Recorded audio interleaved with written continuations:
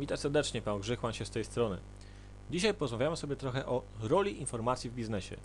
A więc zapraszam już do dzisiejszej lekcji.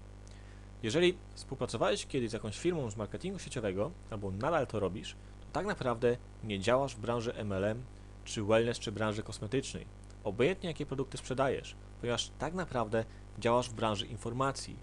I właśnie Twoim zadaniem jest produkcja wartościowych informacji, a im więcej takiej wartości będziesz produkować, tym więcej zaczniesz pozyskiwać nowych kontaktów, czy po prostu nowych współpracowników i klientów.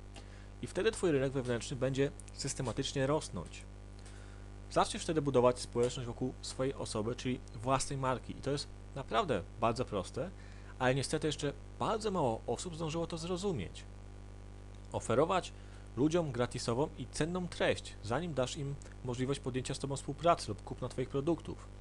Właśnie takie postępowanie da Ci możliwość budowania dużego i dobrze prosperującego biznesu MLM.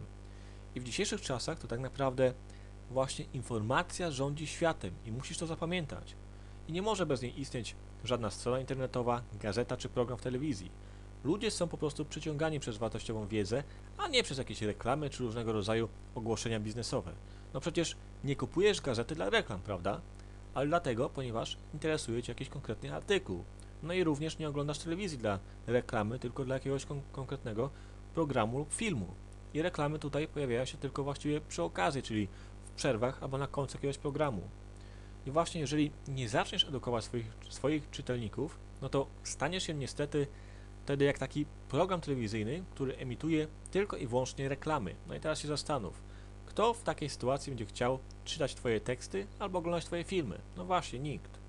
A właśnie producent wartościowych informacji, obojętnie pod jaką postacią, czy, czy tekstu, czy filmu wideo, czy nagrania audio, on rządzi i dominuje swojej niszy, czyli po prostu jest ekspertem i ma najwięcej współpracowników, klientów i najwięcej czytelników. Twoi współpracownicy muszą stworzyć koniecznie z Tobą pozytywne relacje, a nie z Twoją firmą MLM czy Twoimi produktami. To właśnie Ty musisz znajdować się w centrum zainteresowania.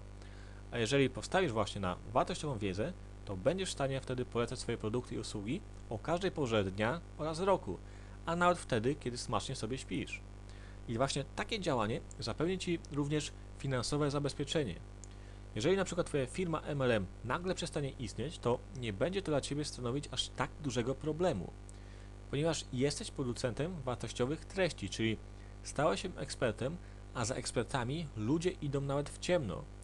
Będziesz mógł po prostu przenieść wtedy swoją strukturę lub jej część do nowej firmy i na nowo zarabiać.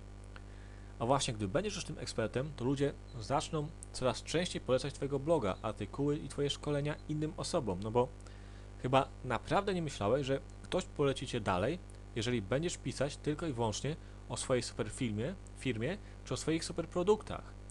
Ludzi dzisiaj to nawet nie interesuje, oni po prostu szukają odpowiedzi na swoje pytania i rozwiązania swoich problemów. A sam produkt wcale również nie jest aż taki ważny.